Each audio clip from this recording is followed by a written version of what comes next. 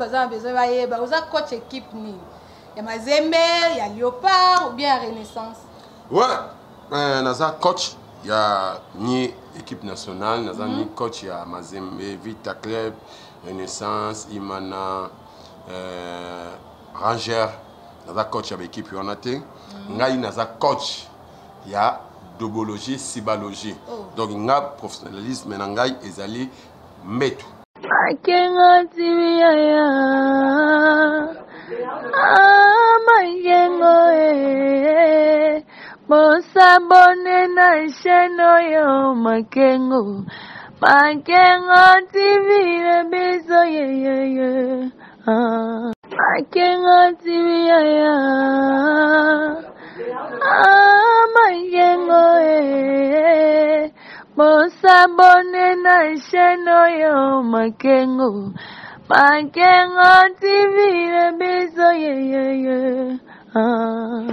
Bosabone bosabone bosabone bosabone na chaîne YouTube Makengo TV Makengo TV bosabone kaka nde ezala bozwa ba news ya bien bozwa ba bozwa ba info ya, ya, ya solo ya okosa te donc abonnez-vous massivement massivement je dis massivement Internet, bonjour et bienvenue sur votre chaîne hein, Makengo TV. Babi Batou, tout au bolinga Makengo TV, biso petolela bino ya trop.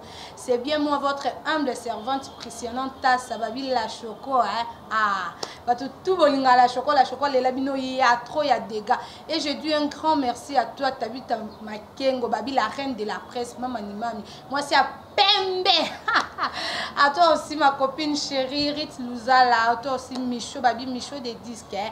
ah, des prix Londres quoi, Michaud des disques, babi iya linga na ye mabanga ta linga ba yemba ye bande tisuka. Cher internaute, naza nga moko te na kati ya plateau ka nde bomoni nga na émission émission ya sans tabou, naza nga moko te, naza na ye moko babi coach de coach coach fila, naza na ye pembeni, osenga na cameraman na biso afongola plateau to banda.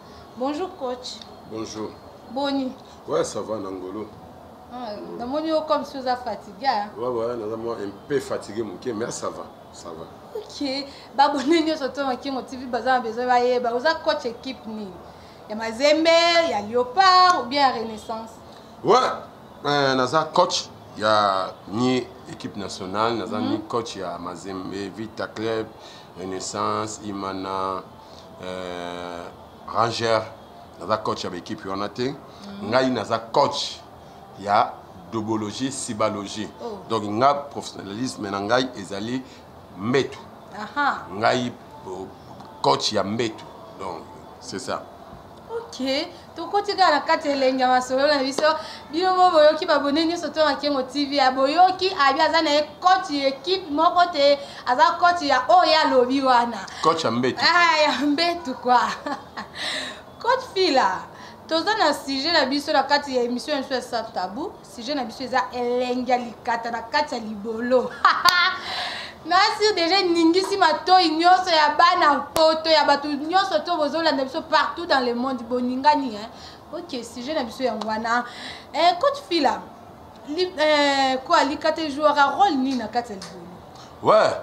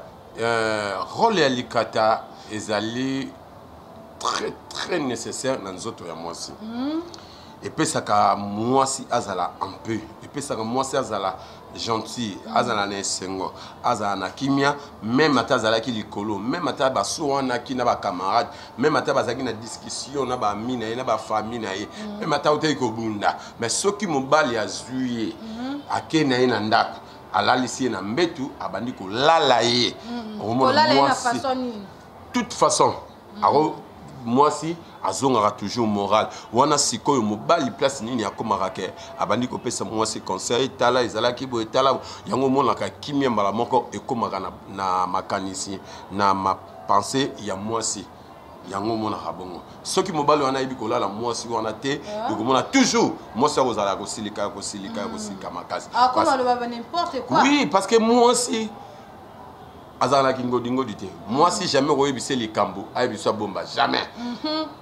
parce que mwasi atongaka mboka te mm.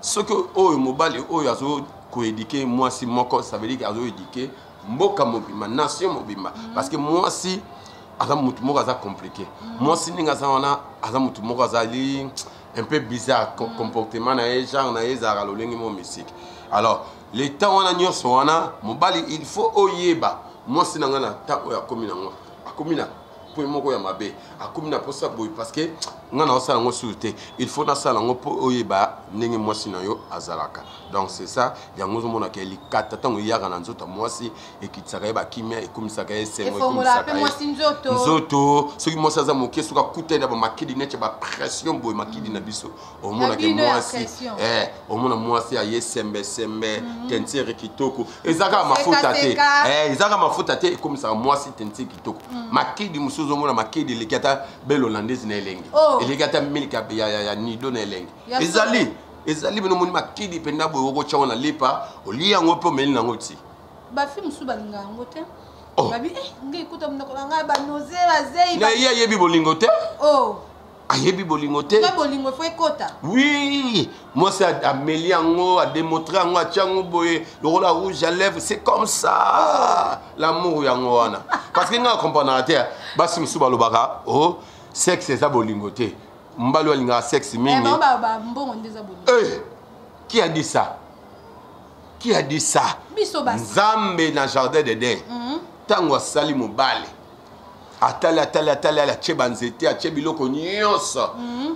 aye kobula be hmm, nazangisi eloko moko aye kocreye mwasi na idéologie parce que ayebaki mobali un mot akoki kosuka un mot okolala me moto oyo akoya kolamusa mobali mpo aseka asepela ezalaki mwasi alors yango azwaki na cote ya mobali atye acreye ye mpo mhm. na idéologie ke mobali asekaka yango omonaka elengi ya mbetu eleki ata 1 million de dollars oh voilà babone nyonso to bakengo tv boyoki ya boyoki nini oyo ye alobi abike likata ejouaka role moko ya bien na kati ya ya oyo ya libolo yango wana ye moko alobi e eh. mpo na bona ngai naloba etambola yango wana ye moko alobi kotfila yebisa biso nanu e arriva mpe ke olingi mwasi ozwi mpe mwa petit chéri moko boye mpe oke na ye na mbeto me mwasi yango yuma ayebi eloko te yuma otravaille bandeli ti suka de ekomela oui euh, ça veut dire ke bamosusu baza baapprenti nano bayekoli te nano mm. bayebi te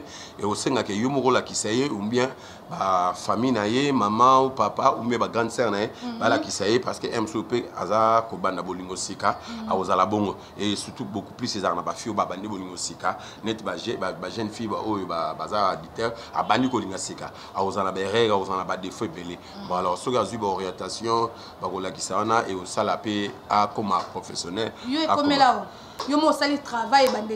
nyonso ekomelanga makambo ngai eloo moko te ekomelanga eza te nyonso ekomelanga oh. eh, ekomelanga ngai me nalakisi tokabwani mpe na mwasi mwasi place akeye azo remercie yo alobi non eh, abi non place nakoma vraiment mwa mobali wana afelisitaka ngai asalaka ngai vraiment alobi ça va yango explike no babone nyonso to makengo tv obanda yango na ondeni mpona kolakisa mwasi mpenza na suka première étention ezalaka mwasi ntango bozolongana ne bilamba yo mobali ozotala ye mm. ozotala ye ozodecortike nzoto na ye mm. obandi ye banda na tolo na bamabele okiti na ye na se otali ye na hanche mm. oyo kokita na babenga yango eh, rond point oyo kokita wana na place rond point ya feroscom wana oyo kotala ozotidie olobi ah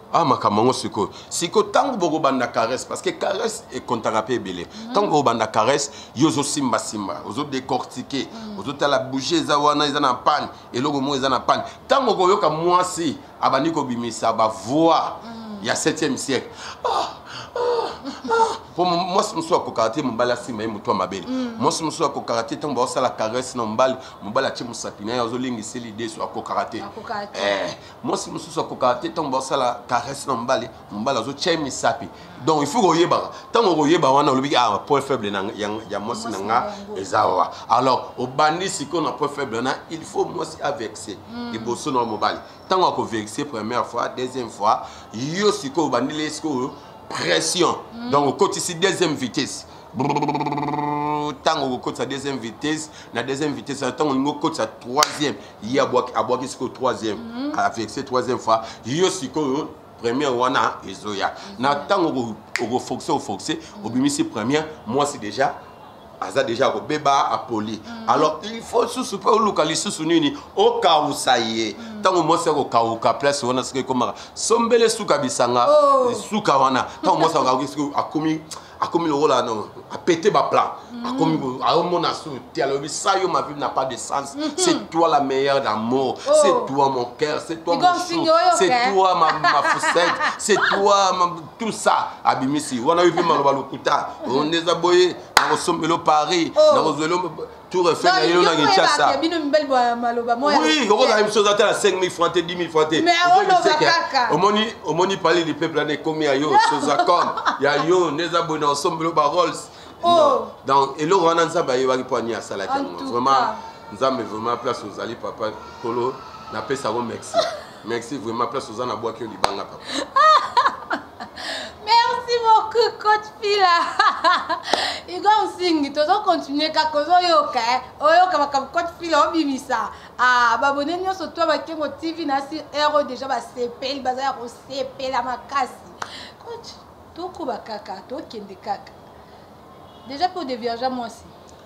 oui mobali nyonso na mokili soki odeverge mwasi te ah, il faut luka mm. ata na ba 47 oluki kaka petit moko ata ya ba 25 mm. place aza otuta kaka mpo oyeba parce que soki odeverge mwasi mm. eza lokola otiki apprente mm. na nzoto na ye otiki elembo mm-hmm. ozo comprendre mm-hmm. atake kobala président de la république atake kobala ministre akoraisonne yo akoyeba ke oui c'est diego kaole moke a découvrir la flève du mouche mm. akobosana yo te un mosusu mpe akoki kongengisa so akuti yo na vie ya mpasi oza mpiaka oza nini donc na vie ya mwa mobali nyonso na parcours na ye mm. il faut deverger mwasi mm. il faut deverger ou deverger eza très nécessaire ngai nakozala na ba 6 6 à 8 ebele boye oh, mais naza coach nakokoka euh, na deverger de oyo bandimaka nde nanga coach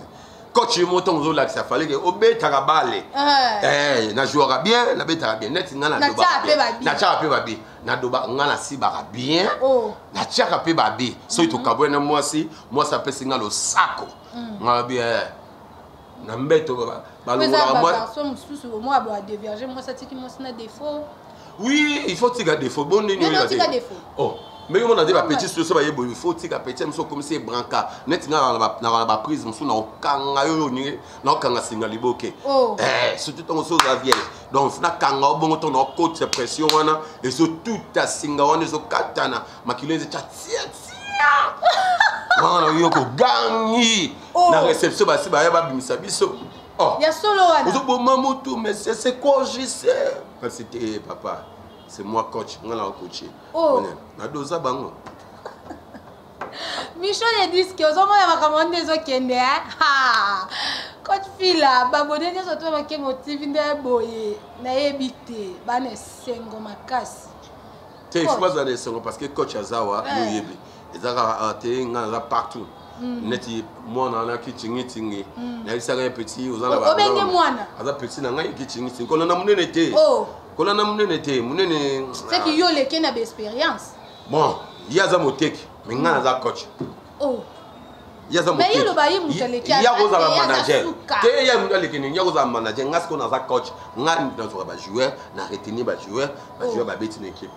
olakisi bango nalakisi bango ye sikoyo akomona kaka boye amanage azwi joueur akoteka joueur oh. toza deux choses différentes cordo fabrice oyoka eh, ngai te ye coach fila yebisa biso noni yo olingaka combien de coupe oyo osentir mpenza oza laise normalement euh, neti nga nazalaka na 4 mm. nga azalaka na 4 coup normal mm.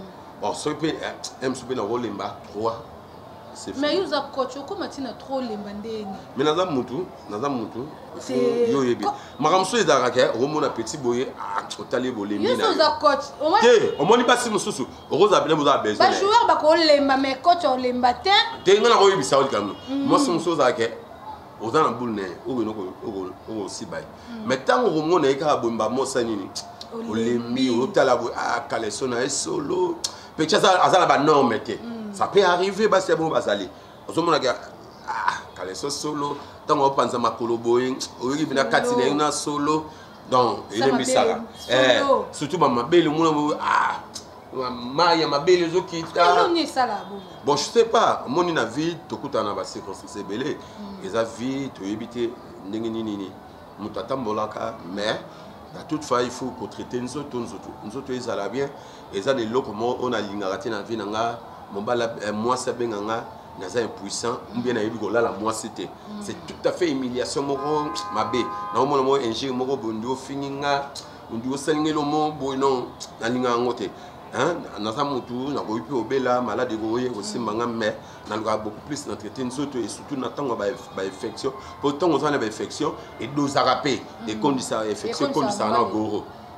likatano ekoma mokie infection oraye ya moko boye oza na bamalade oyo avant oyo baincorate mm. okozala kaka boye okoti obimi na yo ah. oluka deuxième boye traction ezosimba te ozomona mm. donc bainfection ememaka bakozi ya bamaladi ya bongo bainfection ememaka so bakozi ya bamaladi ebele ebele ebele ebele ekobebisa yo mpe tio de chacement ekobebisa yo mpe okomi na yo impuissant donc il faut kotraite kaka nzoto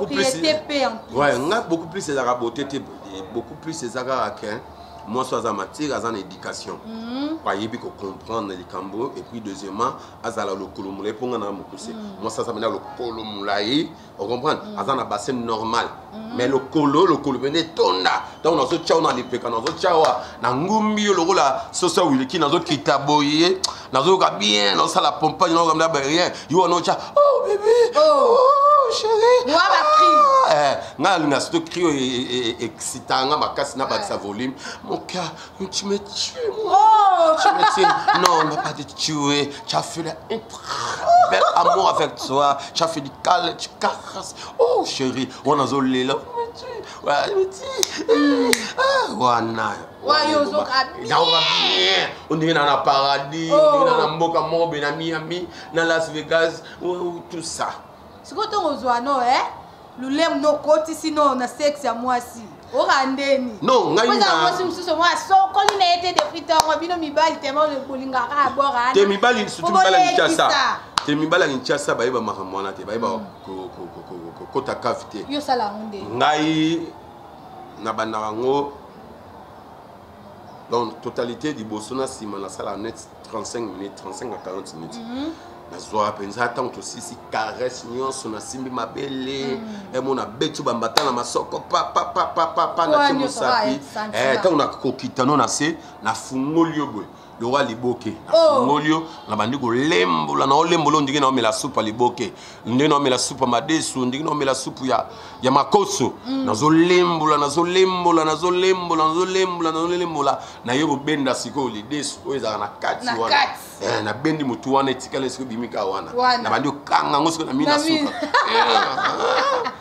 wana mwana abandi kovexe abandi oh. kobeba bendi badra atie nga bamanzaka nyonso nga bamino nga sikoyo nalinga mwasi fa swa nga mino eh. asunga mino mpenza nga bia ah, boye nde ezalaka sui asui nga eh, nasali bongo ntango nalesemo na balusi ye sikoyo na lisoko nandi olembo le lisoko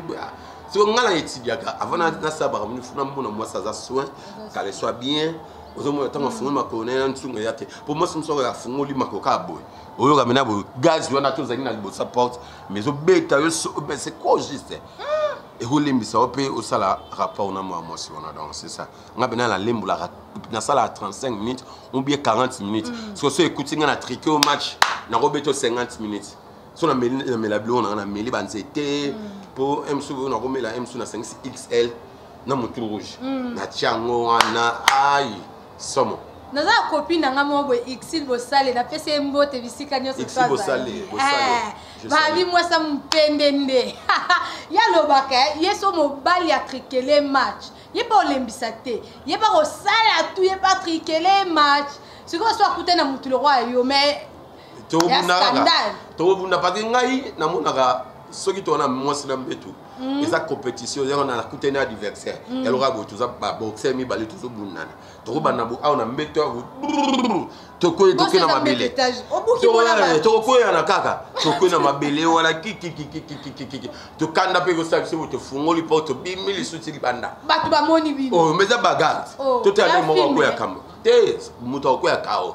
bakolobaki na bo apeti boya tape tape do wango abi asava moyi mo avanda mina wabi non non non non ah, non yo za somo non akuta ngo mbala boye te ngabi ah c'est bon akine boye c'est bébé ne za na sukula ma pi na vandeli ma pi moto po omoni nde eza boye hmm. soki totike match babio na biko eza ndenge nango okomela omeli eloko moko boye hmm. gorone ekomi lowa mbila hmm. moni mbila ntango oliongo moi basende wana ntango ekota na sexe ya mwasi mwasi akoyoka lokwa baikayo ndenge kaka ezobetela ye kikikikoko donc azoyoka somo oh. nayebisa yo eh. sikoyo bosalaka biso boye pwani bon bino basi boza bato mo bozalaka basongisongi hmm. mwasi ata mwasi ata obombeli ye secret tu peux imaginer na regrete na histoire oyo babetelanga babi nangaki mama bobila ayebisa papa na biso mobutu ayebisa mobutu yo salelangani hmm. mwasi andimaka te aza basi baza na kingratitude moko hmm. atobomi no nsoto kota suka osala yangani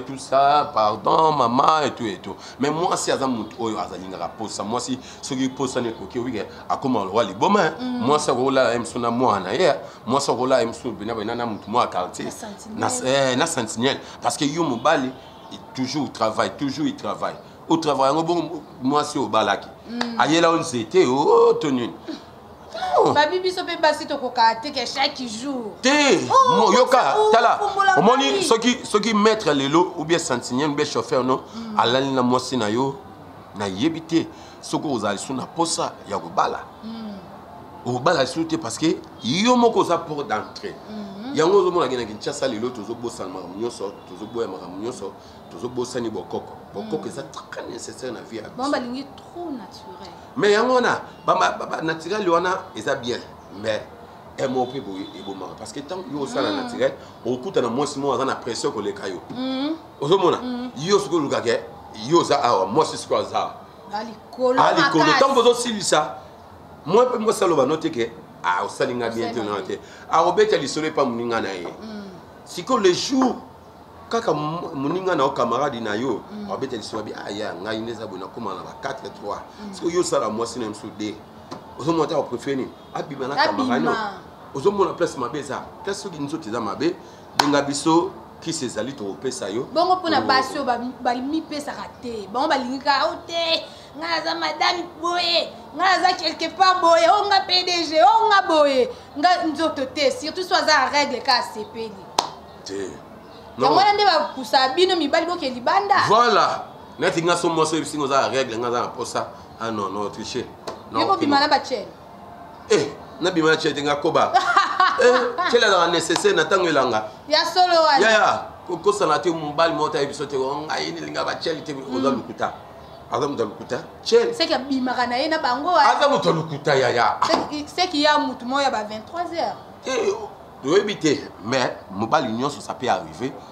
akuta na circonstance wana ke abimi na ndumba mhm. abimi na chele sa peut arrive mobali ozobaki alala na ndumba te bon nayebi te nayebi te bon neti nga bon seke wana te nayebi te mais nandimi mpe te parce que mobali nyonso ntango ozokola okoleka na parcours ya bojeunesse ndenge ezalaka ifu nalata natambola baninga mhm. nakende ostafe nasala bo mhm. sikoyo yo place okende ostafe omela koka te omela jino te omela nini te omela masanga omela wiski mhm. e après nango eloko na yo oyo esani eloki etelema osuba siko so oza na mwasi te oluka nani alors totika omikosa ko yaya tomikosa trop tomikosa trop eh.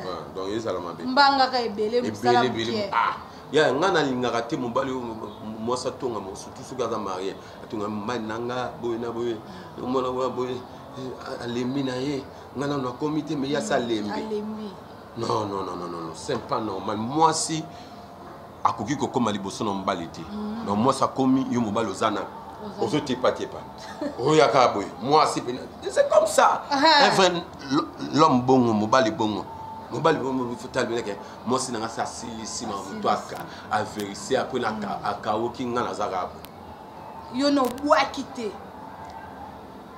yo so lembi déjà ah merci beaucoup baolingi tala bakolalelo mwasi maître alalelo mwasi sentinelle asibeli yo mwasi oh. petit no abiko mpe akosibela yo mwasi na biloko ya oh. bongo chauffeur mpe akodubela momi hmm. ayebisa bino mamba solo bondimela nga bondimela coach fila ah. merci beaucoup coach fila tomoni otamboli yo moko te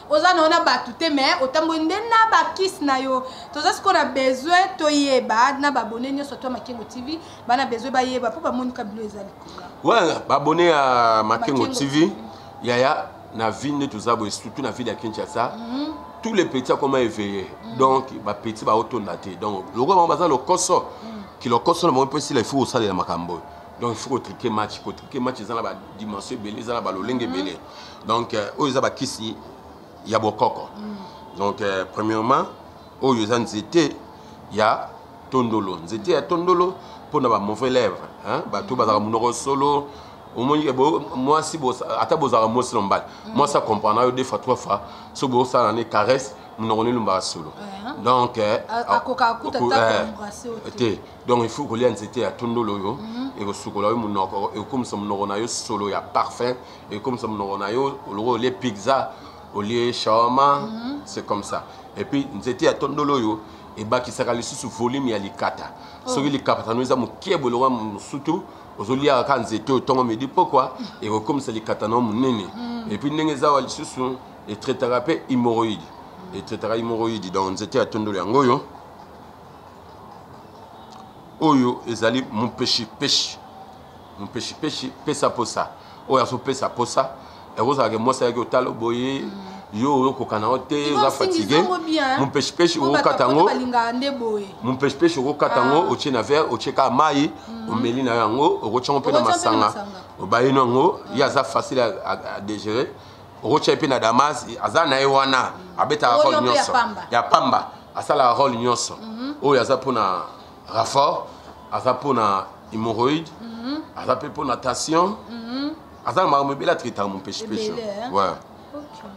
oyo sikoyo eza nzete ya manga mhm. nzete ya manga aza mélange na nzete ya tondolo oyo eza ba un coup petit moko okanaka olukisaka petit moko boye petit wana alingaka te bosala donc ntango akopesa espace obayele ka eloko un petit bebe ne film n'est pas na pipe eh, omeli nini nyonso mombimba oyo un petit bebe donc eh, ne film n'est pas la pipe donc comme na yango oyo aza na traction aza na vitesse koleka elise ya hélicoptère oh.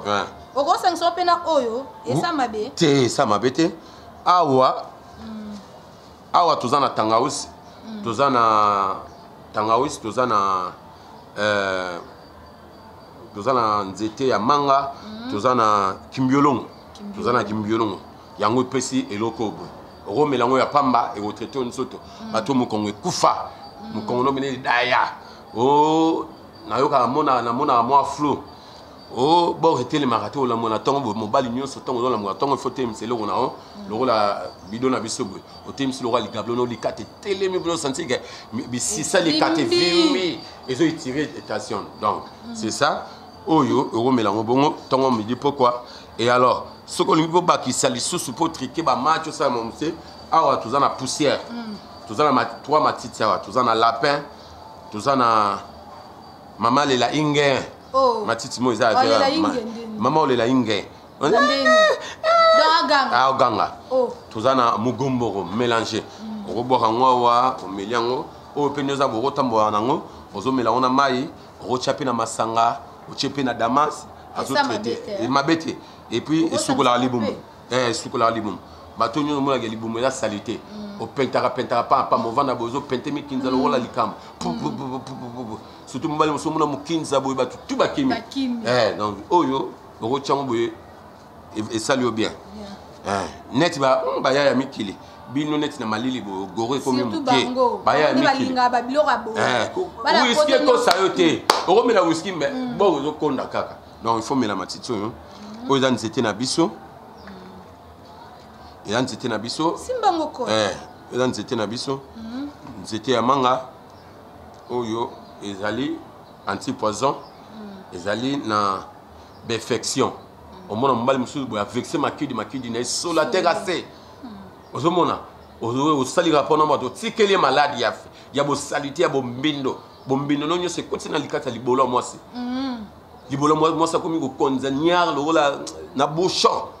oh. eh, nzete oyo kaka otya yango okotya yango na mai osukola ozosukola na yango okomela yango mpe esala bien na mai tusa omeli okolya mpe ya pamba te okolya ya pamba te balya yango ya pamba te eh. oyo eza bokoko makasi surtout oyo na village etrigaya ngai omoni ngai nde boye sino osiba mm. mwasi nosiba mwasi 11 position oh. position oyo elekaka nyonso ezaka position oyo ya lisoko mwasi mpenza nsima na ye wala wana mpenza nafungoli liso mesa wana sikoyo nakoya tu hmm. etuta ekota tu wala wana naotuta pondo wana mwasi azoganga wana ayokaka bien eh, na position ya sosa wilki hmm. wana mpe fe yaya kosiba eleki nyonso keba bakosibela mwasi na chauffeur maître akosibela mwasi yaya kosiba eleki nyonso mobali fo sibaka bien mwasi aza moninga na yo te mm. mwasi aza ndeko na yo te mm. obalaki ye ayaki ndakokana biso il faut okana yaya eh, nazoyebisa bino bandeko nanga surtout bino bandeko ya poto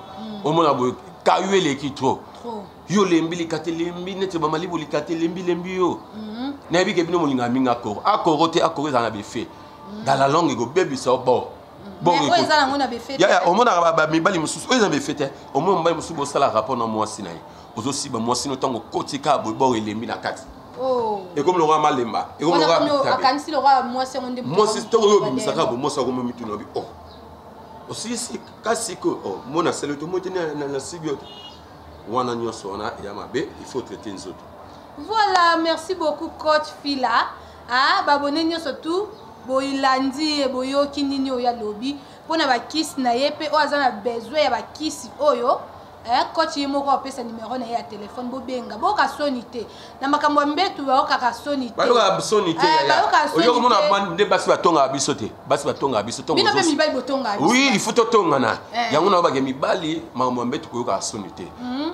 soki likambo moko ozomona ça ne va pas mhm. contacte oyo amoniki aza proche na yo mhm. mama na yo un vrai ami na yo parce que bato mosusu mpe baya basongisongi basongisongi batuni mboka mm. moto ozolia na ye yoka nzoka nde enemi na yo mm. donc luka oyo aza vrai vrai na yo mm. ezala bien mpo yo mpe nzoto ezala malamu ke merci beaucoup boyoki oyo coach alobi eh? coach mot de la fin numéro téléphone dédicace yo mo oyebi kaka nde ezalaka mot de la fin na nga eza mm. bandeko nyonso baza na bamaladi banzoto mpasi goro etelemaka te likata etelemaka te lala ngai naza coach mpo na bana mibali mm.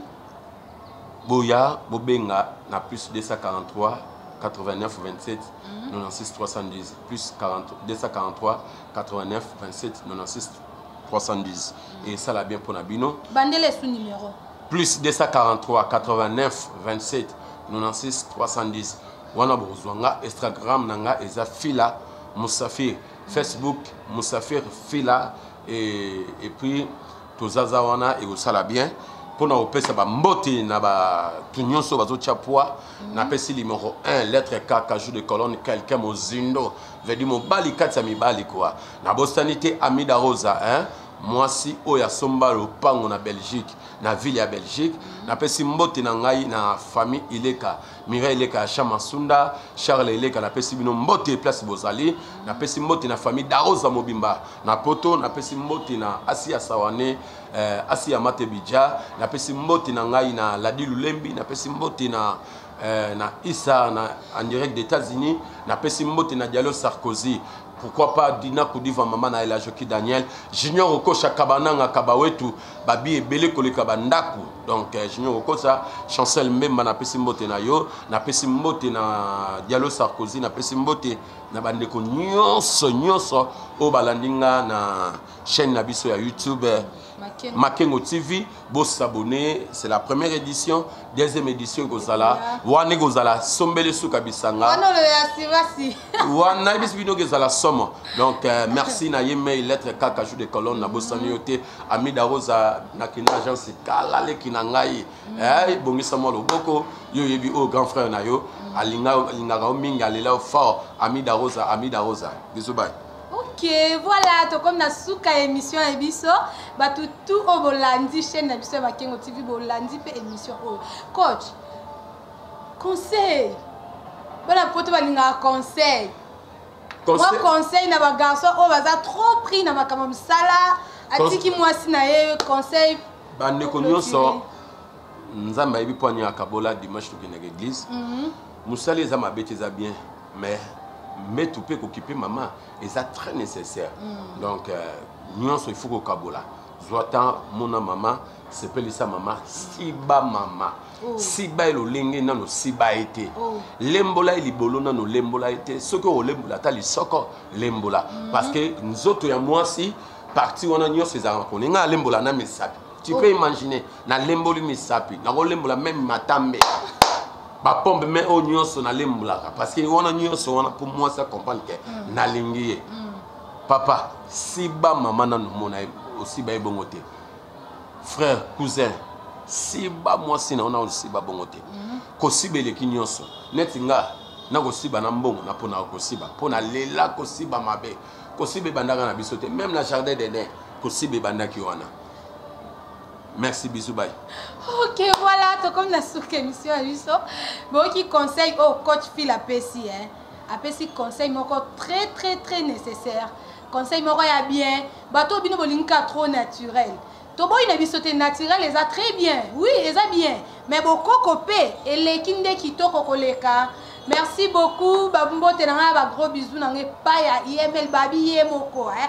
ah, tabita makengo la reine mère babi soki yo te mawa plein mwana mwasi oyo ayebi kosolola mwana mwasi oyo aza gentil na motu nyonso ba gros bisous bisika nyonso tozali nayebi ke kala mingi te tokutana epesi yo ba gros bisous e bambote na ngai epa babi mache mache kande de disque donc mache kande quoi pas de disque mais mache kande yo nde ya dega depuis états-unis napesi yo bagros bisou napesi bambote na ngai epa micho babi micho de disque de prix londres eh. bagros bisou nabosani bino te bato tout oyo bolandi makengo tv bosabone boclike boaime bocommente mpe oyo mpe aza na besoin ya, ya coach fila coach fila aza na ye wana mpo na bino nyonso tu motu tu oyo aza na besoin ya conseil ya coach fila amoni ke azwaki temps te ya olanda mais abetika libaku akutani na coach fila obengi ye numero na ye ya telefone eza wana